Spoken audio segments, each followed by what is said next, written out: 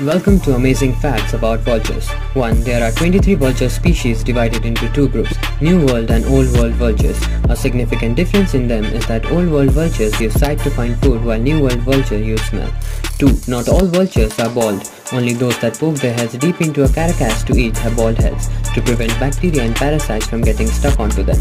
Bald head also helps them to stay cool. 3. Many believe that vultures fly in circles because they are waiting for a potential prey to die.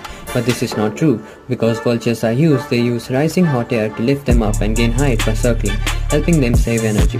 4. Vultures have long lifespans. Some vulture species such as California condor can live up to 60 years in the wild.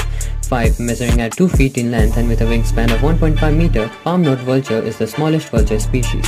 6. Andean condors are the largest vulture species with a wingspan reaching up to 10 to 12 feet in length. 7. Vultures have stomach acid pH of 0 to 1. It can dissolve bacteria and toxins making them immune to deadly pathogens.